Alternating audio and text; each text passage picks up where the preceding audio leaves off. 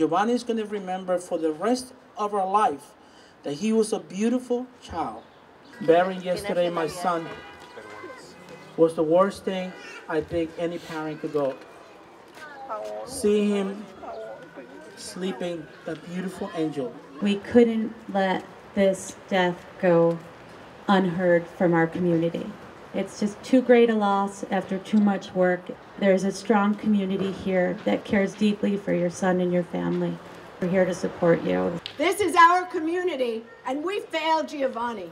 We failed five other children who lost their lives to cars and reckless drivers on a one mile stretch of Northern Boulevard in fewer than six years. I came because I'm sick and tired of being sick and tired of having to come to events like this.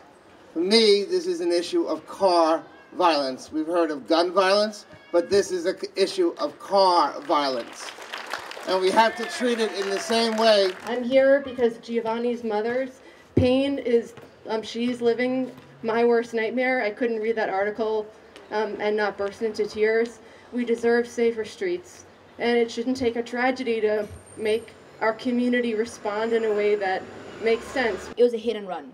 You could have at least helped that little nine-year-old boy. We're all just kids, and so like, it, like if these five children died in over only six years, then like how many more could die if we don't do anything about these roads? My brother, he was an angel. He was everything to me. He, me and him made a promise. He, me and him said, if he died, I die. And we said that we always stick together as brothers for life. We must start talking about how to take action and how to remedy um, these wrongs.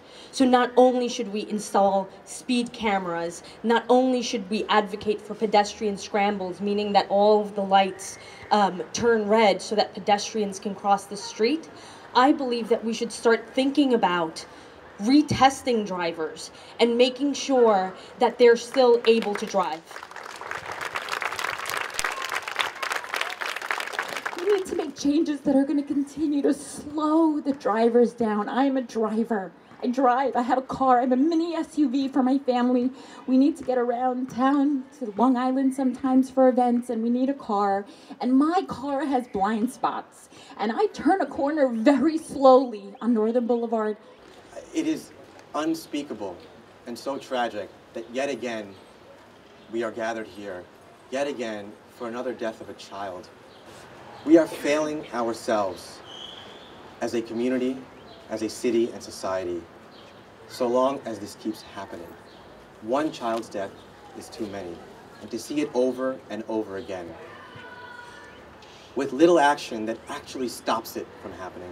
So we're here tonight to demand that those suggestions, including more islands on Northern Boulevard, including uh, LPI lights on Northern Boulevard, uh, and other suggestions in terms of traffic calming measures be put into place and be treated in the same way. If we are able to stop deaths along Queens Boulevard, we must now stop deaths along Northern Boulevard.